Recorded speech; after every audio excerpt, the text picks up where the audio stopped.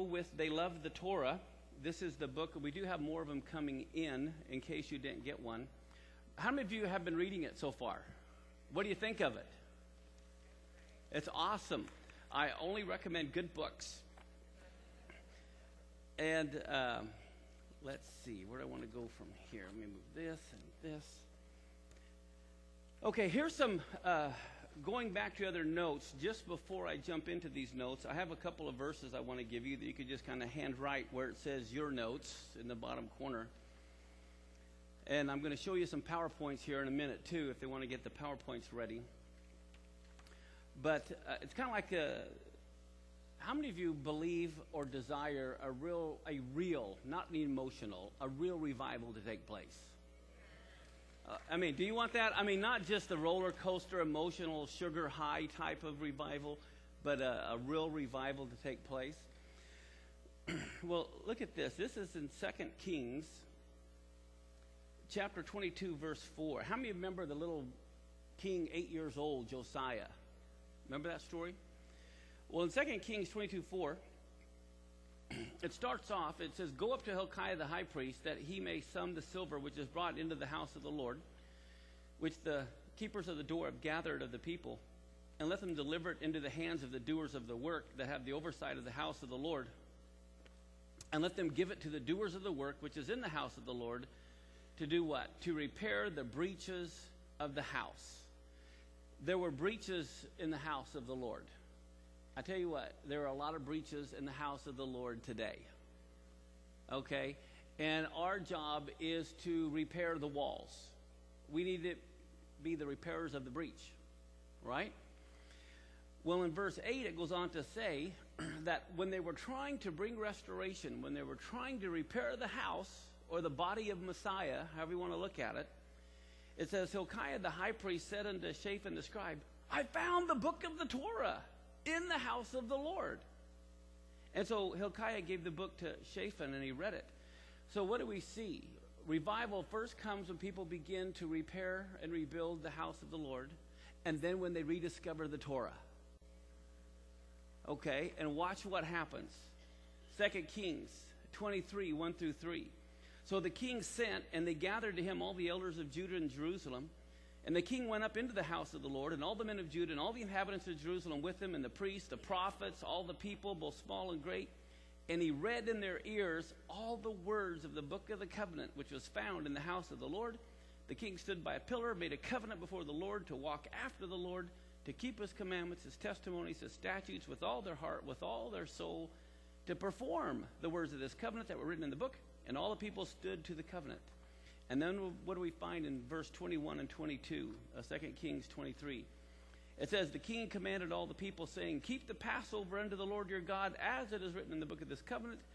And then it says, Surely there was not held such a Passover from the days of the judges that judged Israel, nor in all the days of the kings of Israel, nor the kings of Judah. Do you realize this Passover was greater than anything David did, anything Solomon did? This was the greatest Passover that the Bible records has ever been held. And it's because they were trying to repair the house and they had discovered the Torah. Now look at, now we're going to jump to Acts chapter 3, verse 19 through 21. Now, how many of you know by the time the book of Acts is written, Yeshua had already died, he had already risen from the dead, and he's already ascended to heaven, and the Holy Spirit's been poured out. Okay? So, where is Yeshua right now? He's in heaven. And listen to what Acts 3 says. Repent, therefore, and be converted, that your sins may be blotted out, when the times of refreshing shall come from the presence of the Lord, and he shall send Jesus Christ. Well, wait a minute. I thought he already came. I thought he already left. I thought he already went back. So this verse is talking about the second coming.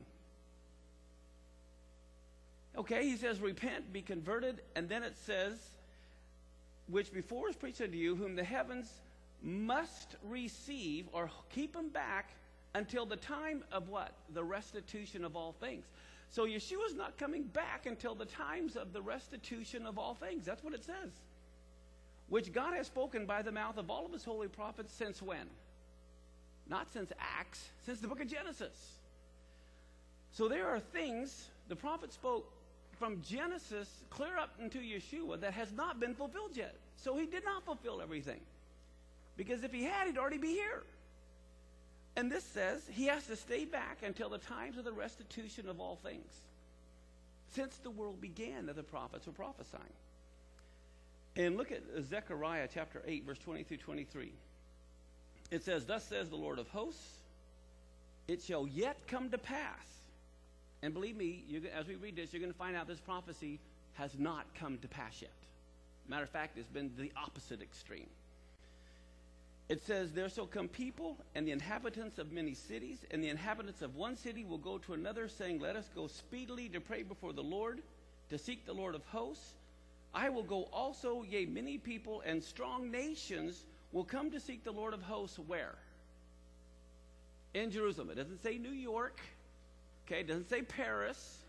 It doesn't say South America. It says strong nations are going to come to seek the Lord in Jerusalem and to pray before the Lord. Thus says the Lord of hosts, in those days it'll come to pass that ten men will take hold out of all the languages of the nations, even shall take a hold of the skirt of him that is a Jew, saying, We will go with you, for we've heard God is with you.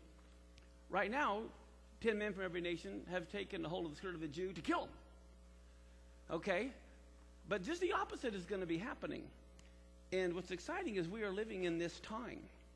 Now, I'm going to go ahead and show you some PowerPoints before we get into the notes.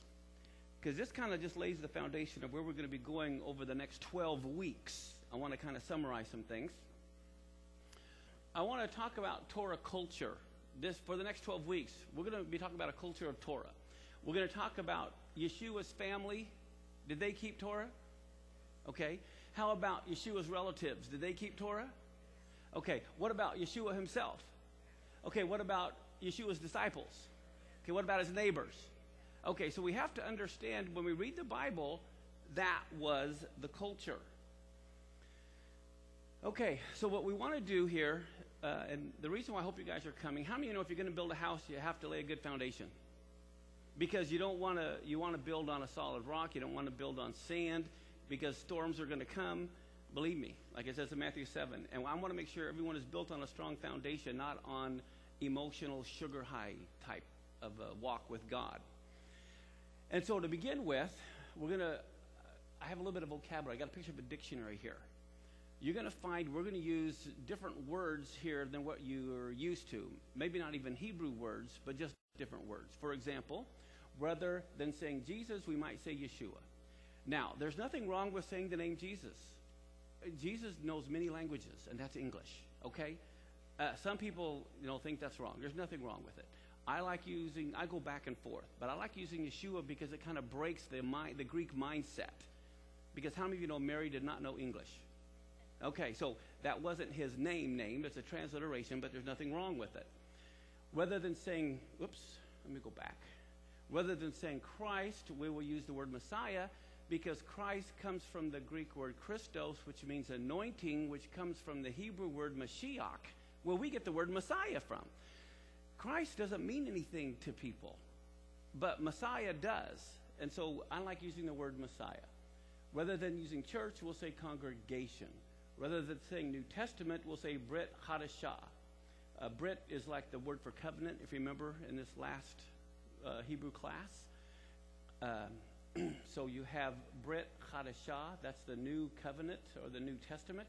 Rather than saying Old Testament, we'll say Tanakh, okay? Because whenever we hear the word old, we think, ooh, old, bad. Okay, so Tanakh is the, it's an acronym. Like if you're in the military, they use acronyms all the time. The word Tanakh is made up of three words.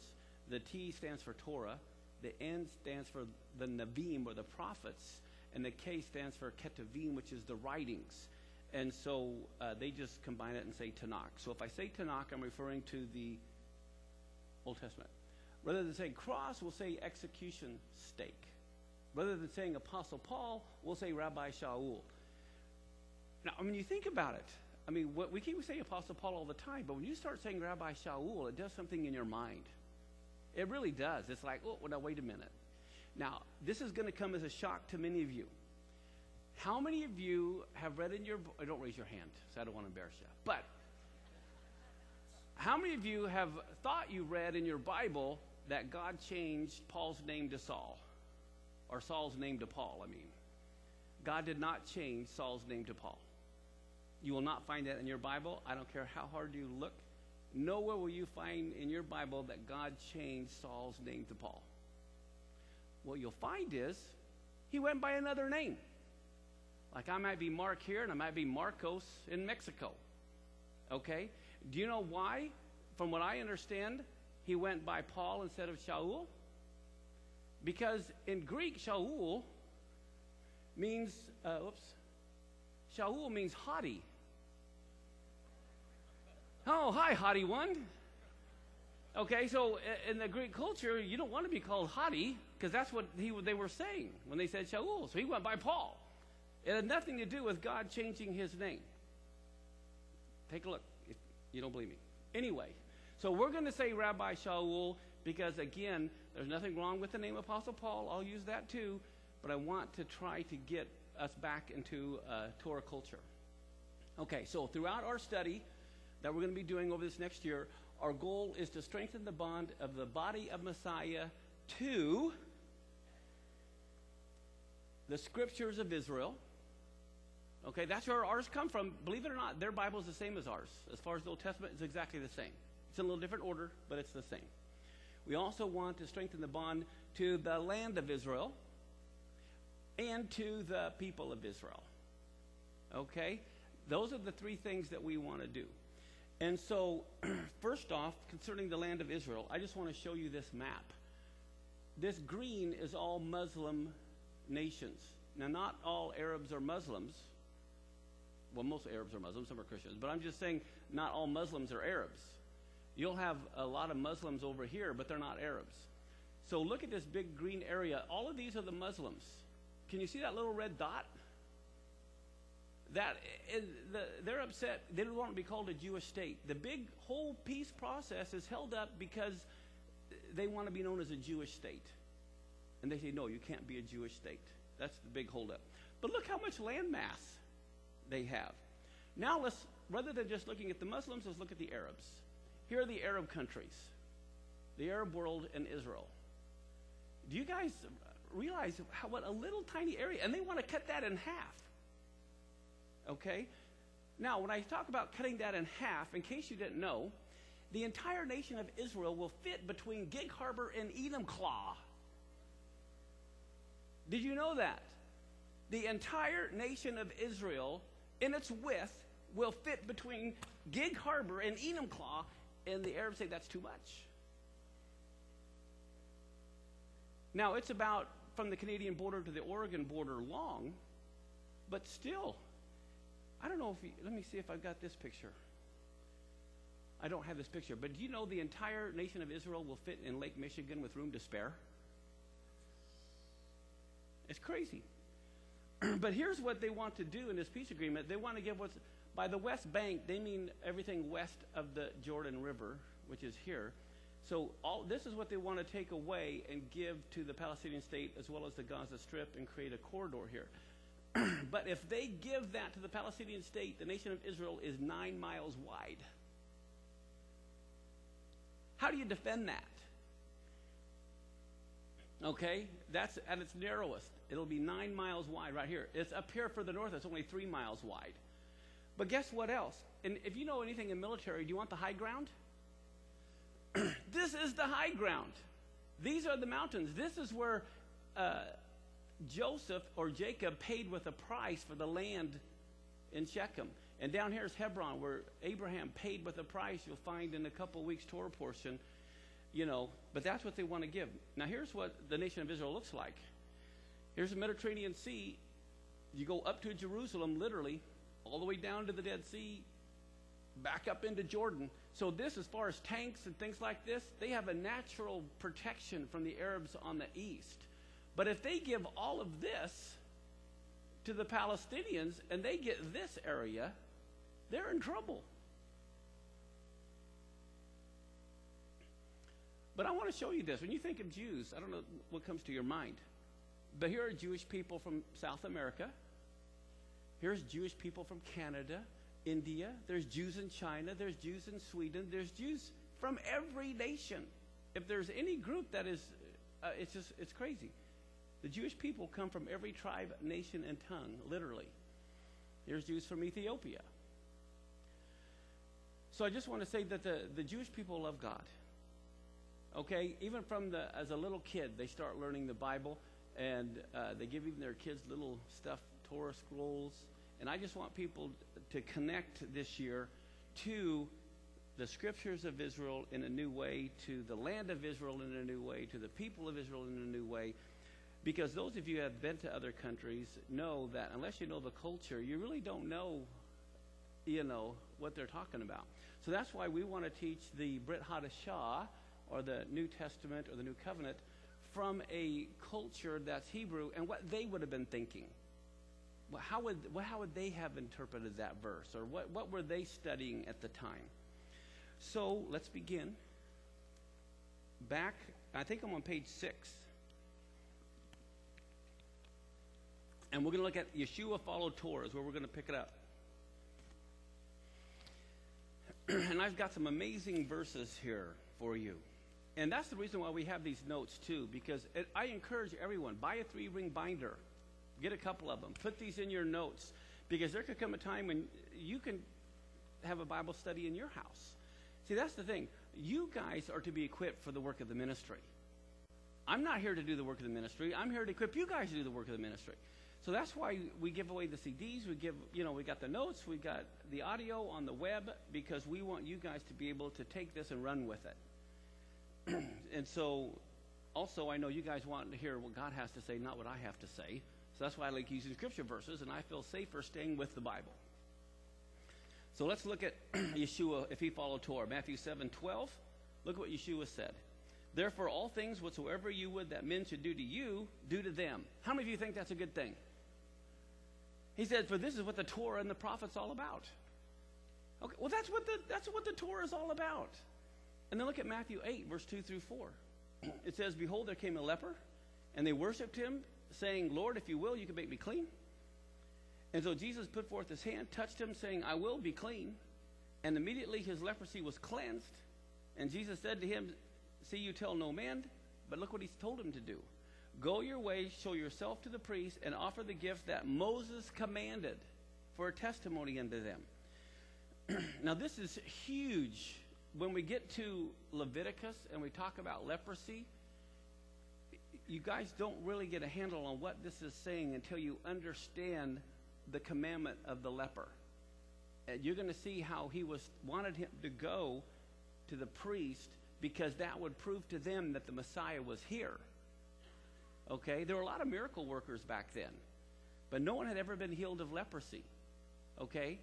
But here's, well, let me, I'll we'll get there. But now look at uh, Matthew 8 19. Here a scribe came and said to him, Master, I will follow you whithersoever thou goest. Okay, well, guess what? A Torah student, especially a scribe, would not uh, would only follow someone who followed Torah. Doesn't that make sense? um, this reminds me, though, of another verse I'll just throw in here. It's one of my favorite verses. It's in Luke 9 57. And it's where these three guys come up and say, Lord, I'll follow you wherever you'll go, right? And one of them said, But allow me first to go and do this. The other one said, Lord, I'll follow you too, but me first. Go do this. Now, how does that does that make sense? How can they call him Lord and say me first? but uh, I'll jump into here just to give you an example of why you want to study the culture. How many of you kind of wondered how come Jesus wouldn't allow the guy to go bury his father? I mean, seriously, did you ever wonder what's the, how come he wouldn't allow what's wrong with burying your father? But if you don't know the culture, you don't understand why. The reason why is in Judaism they have two burials. Okay, what they'll do when someone's dead, okay, they'll put them in the cave, until all the flesh is gone. A year later, they'll take the bones and put them in an ossuary and have a second burial. Well, this guy's dad had already died. He wanted to wait another year for the second burial. And Jesus said, Look, he's already dead. Why do you want to wait a whole other year? What's before the for the second burial? So this is some of the things that you'll learn as we go. Okay, Matthew 19, 16 through 19.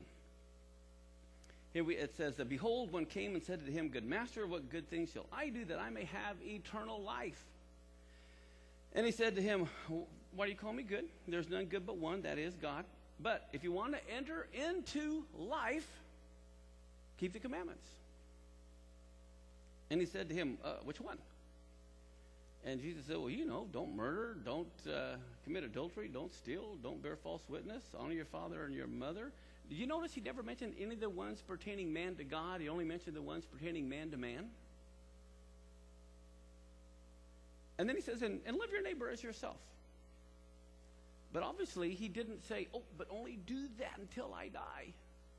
And then you don't have to do it anymore. Okay? Look at Matthew 24, 7 through 12.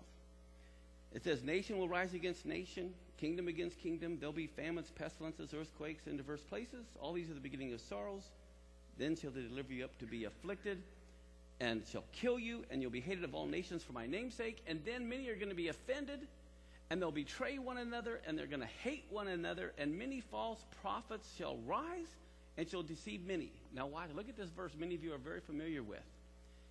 It says, Because iniquity shall abound, the love of many shall wax cold. Everyone heard that verse before? It says, But he that shall endure to the end, the same will be saved. That word that's translated iniquity means without Torah. Look it up. Love will grow cold because of people being distanced from Torah. That's why the love is being diminished. They're being, they're being distanced more and more from God's Torah. How many of you believe David loved the Messiah? David loved God, didn't he? Do you think God loved David? Look what David said in Psalm 119 Horror has taken a hold upon me because of the wicked that forsake your Torah. Now look at Proverbs 28 4. They that forsake Torah praise the wicked, the wicked. But those who keep the Torah contend with them. So if you forsake the Torah, you're praising the wicked. you know, there's another verse, I don't have it here, that says, Those who forsake Torah, even their prayers will be an abomination. That's what it says. You can look it up for yourself. Now look at Second Thessalonians chapter 2 and verse 8. Oh, thank you. How many, everyone's familiar with this verse. Then shall that wicked one be revealed, whom the Lord will consume with the spirit of his mouth, and shall destroy the bright with the brightness of his coming. The word wicked there, it means without Torah. The Antichrist, his whole being is one without Torah. That's what it means. Same word as iniquity. In Luke 24, 25 through 27, look at this. It says, Then he said unto them, O fools and slow of heart to believe, all that the prophets have spoken, ought not Christ to have suffered these things to enter into his glory? And then look what Yeshua did. Beginning with what? Moses. Okay, he started with Genesis, Exodus, Leviticus, Numbers, Deuteronomy, and then all of the prophets. He expounded unto them in all of the scriptures. Now, the Brit Hadashah hadn't been written yet. And he went through all the scriptures of things concerning who? Okay, is Yeshua the Word of God? Isn't that what John 1 1 says? Is the Torah the Word of God?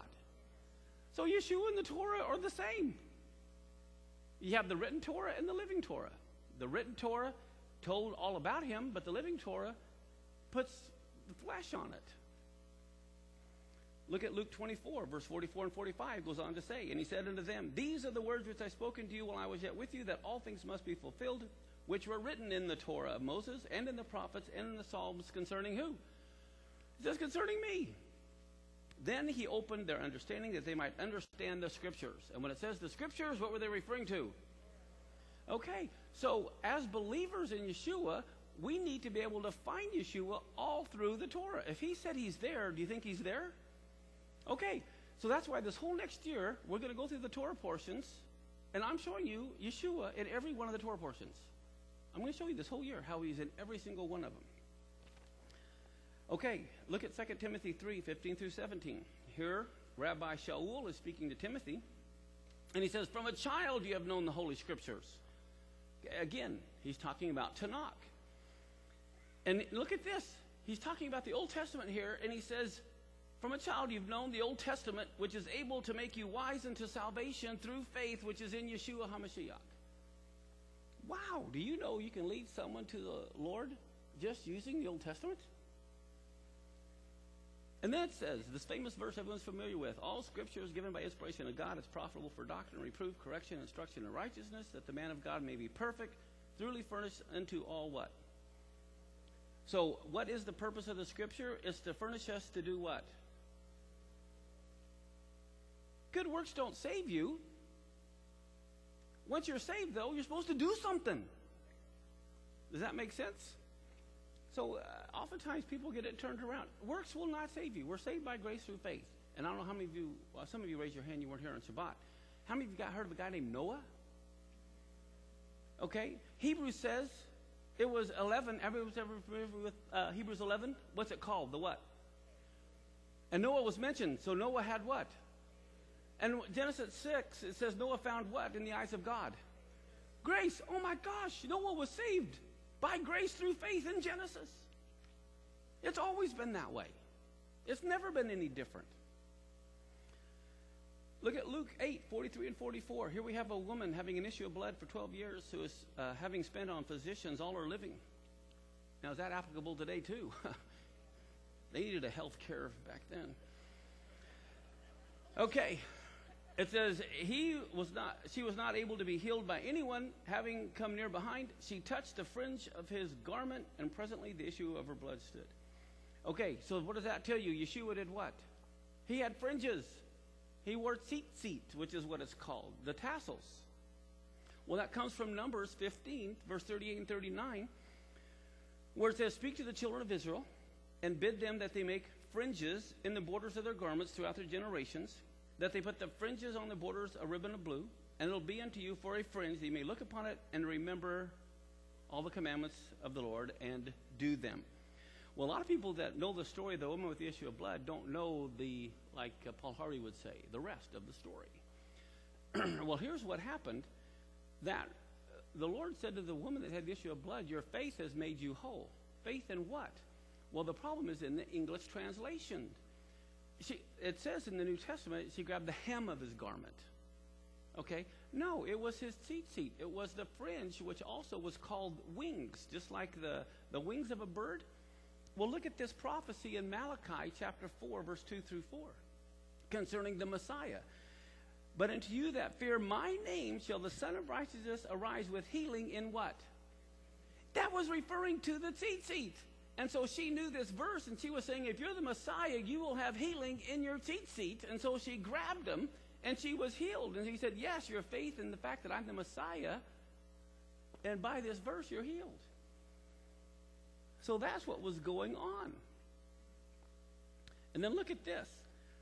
And then it says, and uh, you shall go forth and grow up as calves of the stall. You shall tread down the wicked. Now look at this. This is something that is very apropos for this day and age if you believe that we're living in these end times or last days. This is where it talks about Elijah coming back, remember? Everyone familiar with that verse in Malachi? You know, before the great and dreadful day of the Lord, Elijah is going to come back and the, turn the hearts of the fathers, fathers to the children. This verse is right before that. This is talking about the last days. And look at what it says here. You are going to tread down the wicked. There'll be ashes under the soles of your feet in the day that I do this, says the Lord of hosts. Remember the Torah of Moses, my servant, which I command him in Horeb for all Israel with the statutes and the judgments. So, what he's saying is, in these last days, you are going to be treading the wicked under the soles of your feet. Okay, everyone's afraid of the devil. I want him to flee from you. Okay, well, how do you do that? By remembering the Torah of Moses. You can see why the devil doesn't want us to remember it. Now look at Luke 9 16. Here we see he took the five loaves and the two fishes, and looking up to heaven, he blessed them. What did he he what did he bless? Okay, think about this for a minute. He blessed the five loaves and the two fishes. This is so significant. And then he gave it to the disciples to set before the multitude. Do you know, typically, every Jewish prayer, even over the bread and the wine, they don't bless the bread and the wine. They bless the Lord for the bread and the wine, and the Lord blesses the bread and the wine.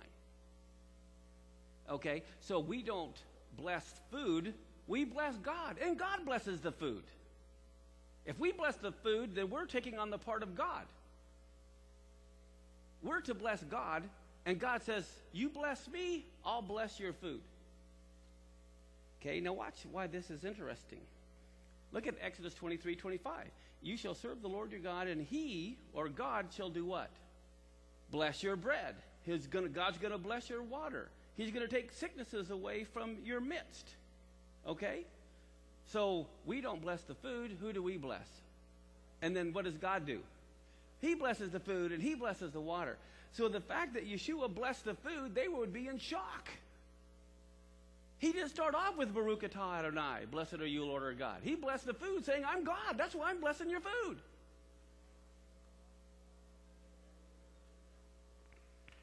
Yeah. That was a shock to them.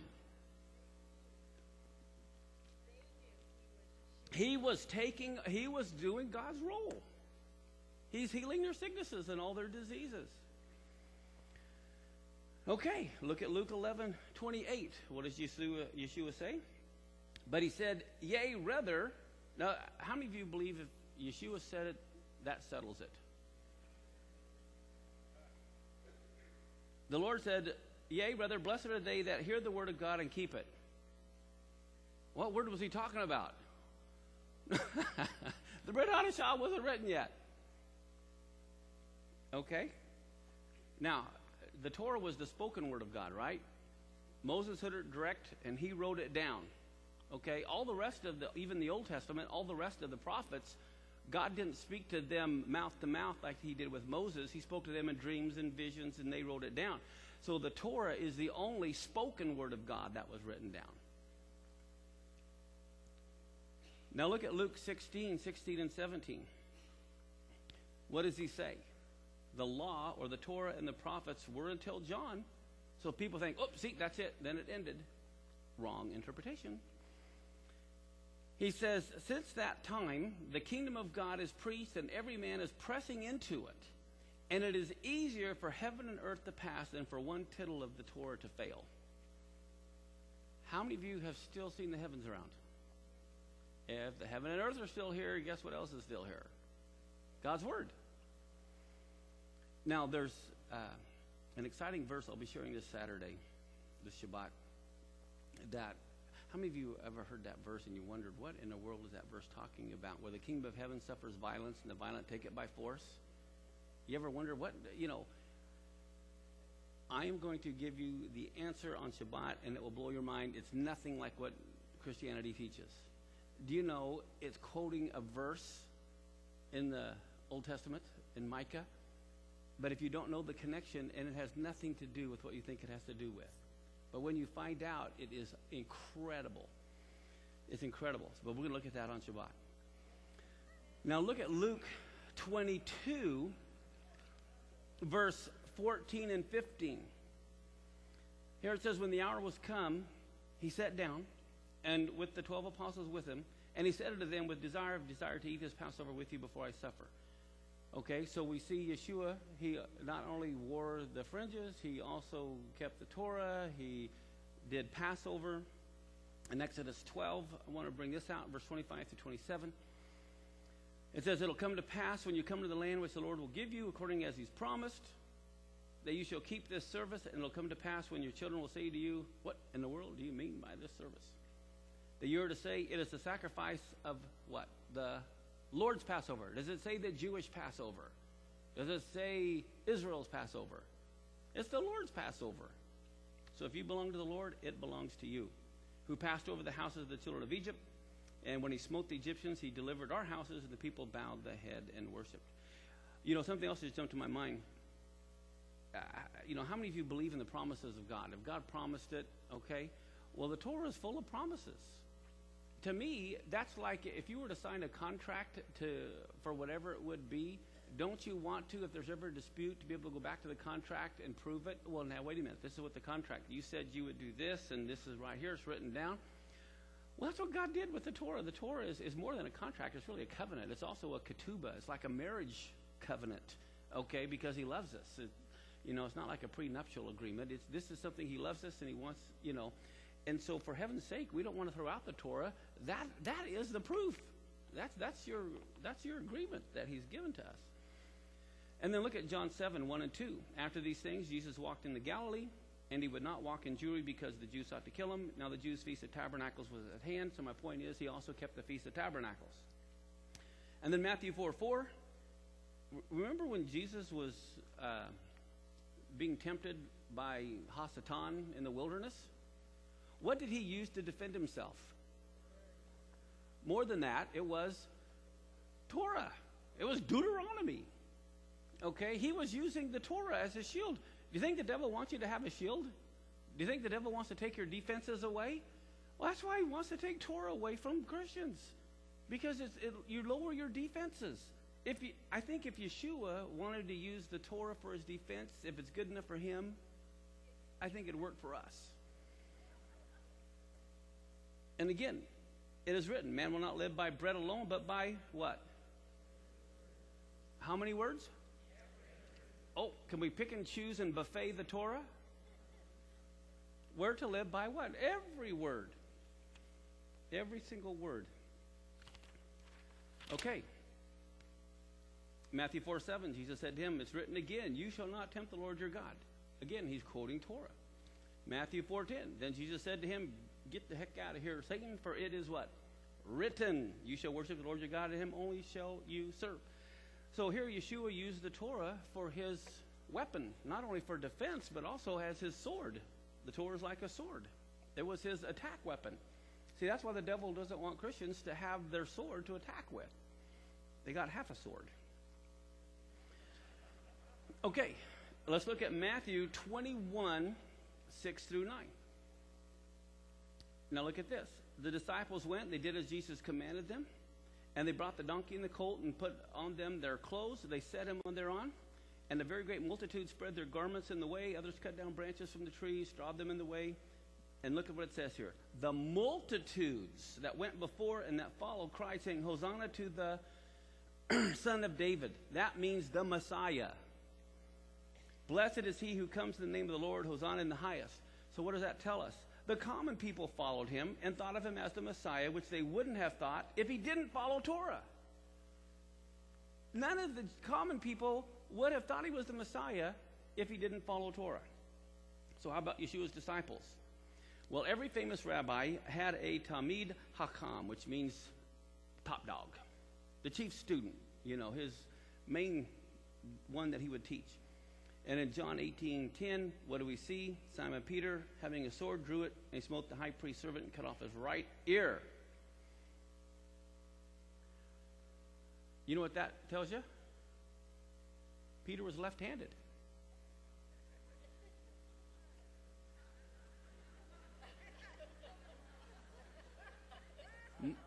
More than likely.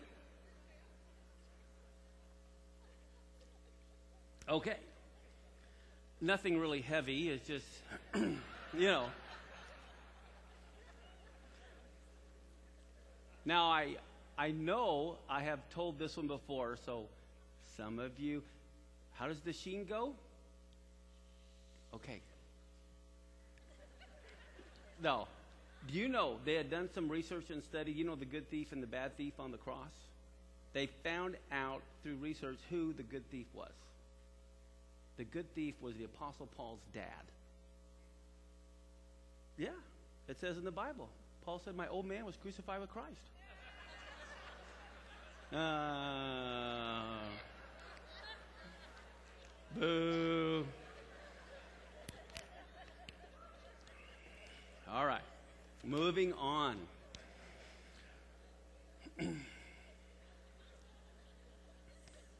okay, what do we see in chapter 2, verse 1. It says, When the day of Pentecost was fully come, they were all with one accord in one place. That place was the temple. They weren't in the upper room, they were in the temple. and we see the disciples kept Pentecost also. Uh, in 1 Peter 1 15 and 16, look at Peter here. But as he which has called you is holy, so be you holy in all manner of conversation, because it is written, Be ye holy, for I am holy. Well, where did that come from? It is written. It comes from Leviticus. It comes from Torah. Peter didn't say, Hey, you don't have to be holy no more. That's done away with. Go sin all you want. Now, look at Acts 13 26. This is important. This is, uh, there were like three different kinds of believers during Yeshua's time in the culture. And it brings them out here. So I want you to follow this with me. Here they say, men and brethren, okay, children of the stock of Abraham, and whoever among you fears God. To you is this word of this salvation sent. Okay? Do you notice it says, whoever fears God? That was not referring to a Jewish person. That was referring to Gentiles who were God-fearers and followed Torah to what they could, to the extent that they were allowed. How many of you heard of Cornelius? Look at what it says. First off, Jews in the Second Temple times believed, Jews believed that Gentiles who kept the Noahide laws would have a part in the kingdom of heaven. The God-fearers were Gentiles who went a step further and also went to the synagogue. They kept the Sabbath, the dietary laws, and they prayed at the hours of prayer. And so, what do we see in Acts 10 1 through 3? There was a certain man in Caesarea called Cornelius. He was a centurion of the band called the Italian Band. I think he played the drums. No, I'm kidding. But look at this it says he was a devout man. One that did what? Feared God. So he's devout, he fears God. Believe me, the Gentiles, the Greeks, everyone else, they worship pagan gods. So here's a Gentile who loves the God of Israel. Okay, he was devout. He feared God with all of his house.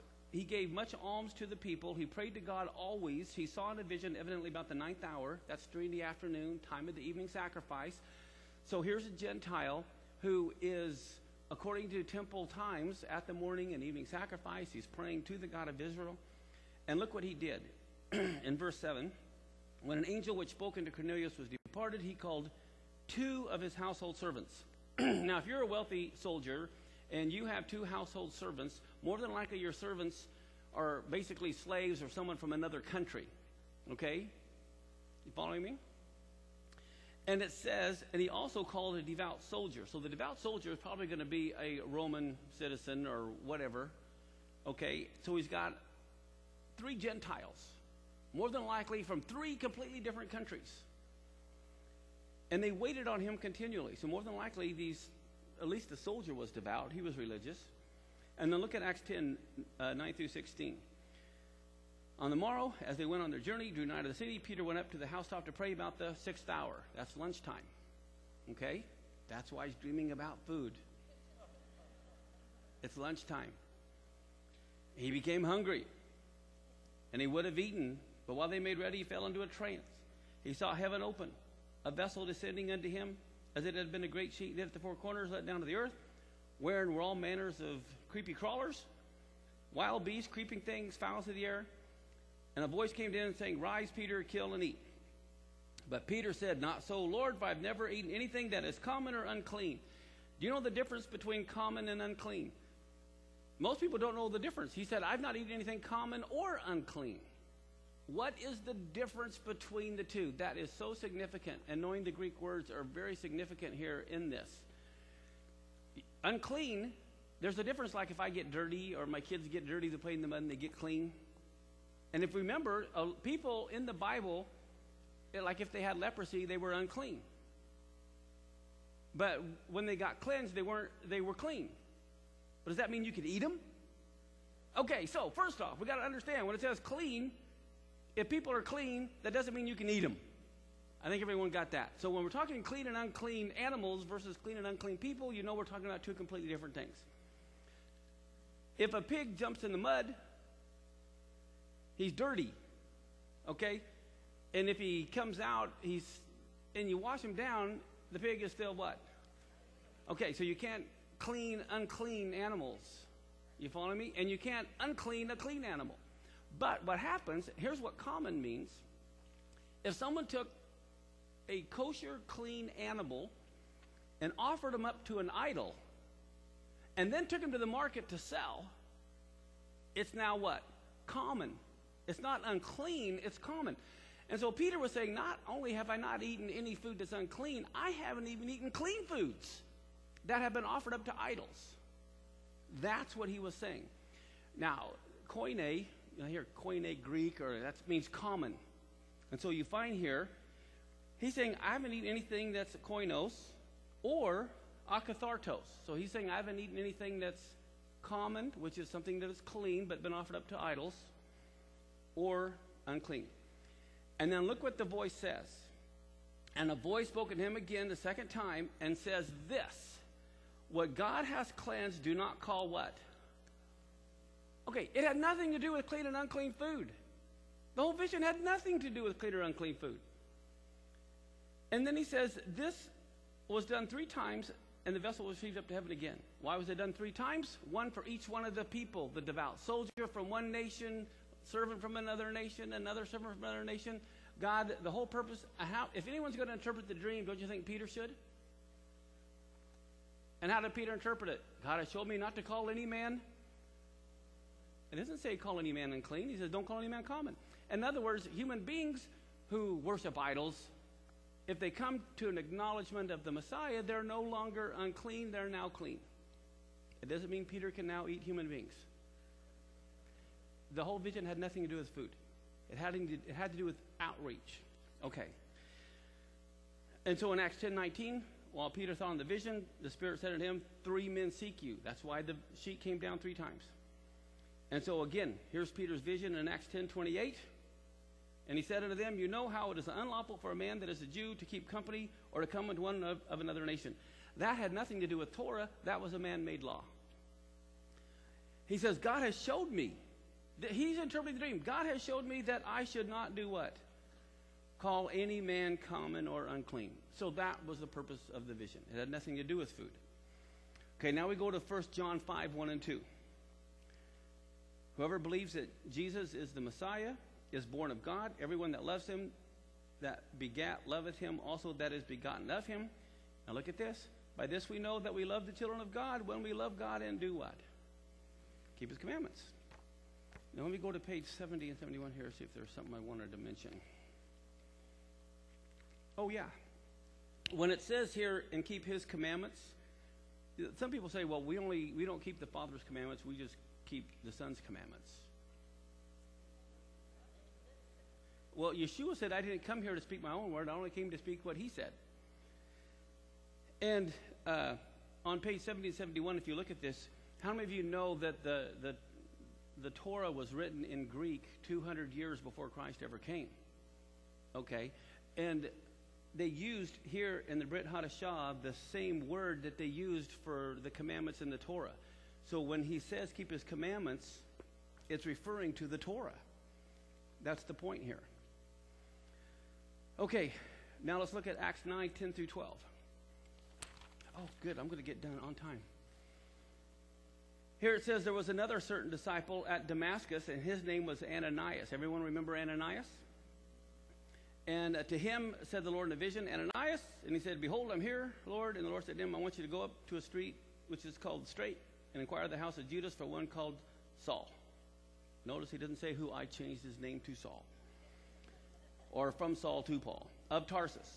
For behold, he's praying and has seen in a vision a man named Ananias coming in and putting his hand on him and he might receive his sight. Okay, I brought out Ananias here because I want to go to Acts 22, 11, and 12 to see what we know about him. It says that when I could not see for the glory of that light, being led by the hand of them that were with me, I came to Damascus. This is now Rabbi Shaul speaking. And he says, And one Ananias, who was a devout man according to the Torah, having a good report of all the Jews which dwelt there. So again, here you have, after Messiah died, rose again, left. Maybe 20 years later, here are still his disciples who are devout and are living according to Torah. Now, this is going to come as a real shock to most Christians. Look at this next verse in Acts chapter 6, verse 7. the word of God increased, and the number of the disciples multiplied in Jerusalem greatly, and the great company of the priests were obedient to the faith. And so here you have a great company of the priests who were obedient to the faith, and they were still doing sacrifices in the temple. But now they understood what they were doing. It all had to do with Messiah. And then look at Acts 21 20.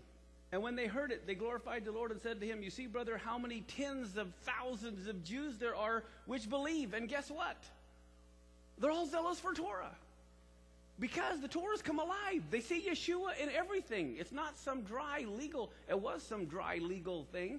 But once the lights come on and they see it's all about Yeshua, then it takes on a whole new life. It's kind of like the little kids that hate the fence because they want to play in the street. The parents love the fence, the kids hate the fence until the kids grow up, then they love the fence. What changed? The fence didn't change. The people's attitude toward the fence is what changed. Okay, two more verses. Uh, Acts 6, 8 through 13. Here we see this guy named Stephen, full of grace and power. He wrought great wonders and signs among the people.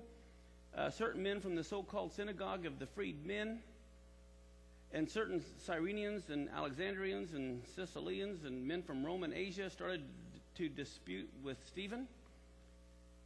Synagogue of the freed men. I wonder if that means they thought they were free from the Torah or something. They're the ones that are disputing with Stephen. And they instigated some to say, We have heard him speaking blasphemy against Moses and against God.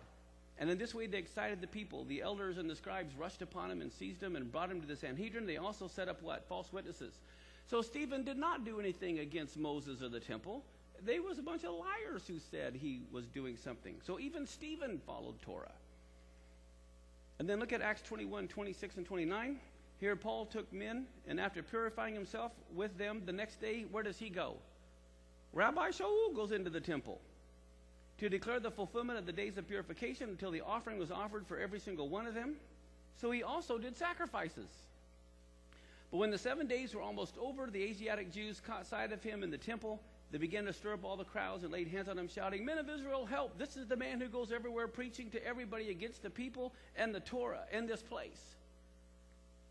So, what is that telling you? Because they were all lying, that tells you Peter did not preach against Torah.